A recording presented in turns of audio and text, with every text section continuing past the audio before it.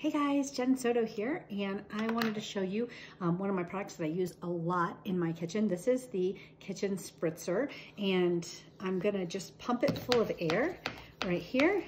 Uh, can you see that? Am I out of frame? We're just gonna pump it full of air.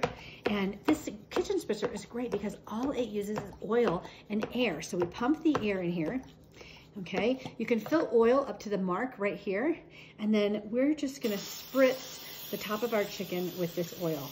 This is really fantastic if you're if you have to grease a muffin pan or a cake pan or something like that. We're gonna put the um, oops.